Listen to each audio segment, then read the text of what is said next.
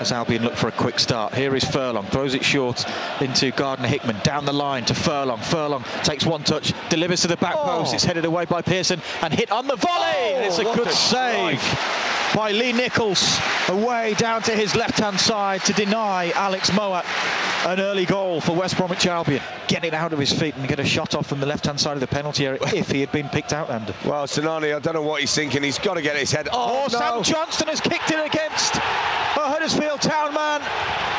And Danny Ward runs off celebrating. Oh. It's a rare error from Sam Johnston. I mean, how many times has he kept us in games and pulled off great saves? Unfortunately, when a goalkeeper makes a mistake like that, Jez, it's generally a goal. And as gutted as he'll be, he's just got to pick himself up now. It happens. He's got to put it to bed. You know, Carroll there beautifully, and he's just not been hit. Even crosses from deep, Andy. Yeah, anything. You know, get round him. Put the ball near him and get round him. Carroll Barsh off the ball. Here come Huddersfield with Russell, plays a nice one too. And here's a great chance in behind for O'Brien. It's a good first touch. O'Brien hits it, Johnston saves, but the rebound is followed up by Danny Ward. It's a second goal for Huddersfield Town. It's a second for Danny Ward. could he have held it? I don't know. It's a difficult one. Sam Johnston will feel as though he could have held that, that's yeah. for sure. Yeah, yeah. But Danny Ward straight away on it in an instant. In it comes, right-footed towards the back post. Ajayi jumps, might come to Mowatt, heads it back in there, and Let's Mowatt goes down. Let's and Albion have a penalty. Wow, wow, wow! His boot was high. It's given against Sorba Thomas. Yeah, Mowatt.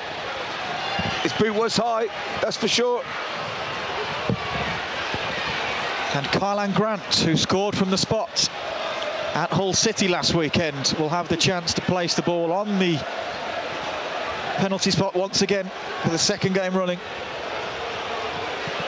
Sorba Thomas's boot was high. It was very brave from Alex Mowatt. It'll be Grant against Nicholls in front of the Brummie Road end. It's a slow run up from Karlan Grant. Hits it right footed into the bottom corner. Nicholls dived the right way but he couldn't make contact with the ball. Come on then. And Albion have one goal back. Come on then. Can we pull this game back? a very confident penalty yet again from Karlan Grant. Went the opposite side of the goal. There is Clark. Be a great game to win 3-2, Andy. Oh, wouldn't it just? Wouldn't it just? I'd take a draw off you now, though, Jez, if I'm being honest. But I'd love, I'd love it to be 3-2. There's Gardner Hickman up towards the edge of the penalty area. Ajayi on the overlap. Here is Semi Ajayi. Ajayi dinks it in towards Carroll. Oh, yes! Yes! And Andy Carroll has his first Albion goal. What a turnaround at the Hawthorns. Two goals in two minutes. And all of a sudden it's 2-2. Wow.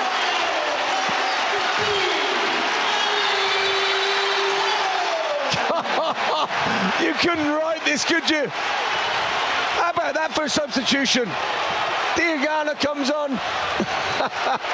well, as we've said it, get the ball in the box with this lad. He attacks it so, so well. And I want the win now. You're right, Jez. 3-2, even 4-2. Why not? The crowd who are back, who are still in the stadium, I might add. Listen to them singing. It's all they wanted, Jez, was a little bit of little bit of effort. Garner, Robinson tries to chip it go through. On, on. Grant's onside. Cullen oh, he's at the, the crossbar. A lick of paint away. Oh, if that goes in, I'm, I'm on the pitch. From completing an incredible turnaround at the Hawthorns. Well, they're the margins, aren't they? He is onside, Karlan Grant.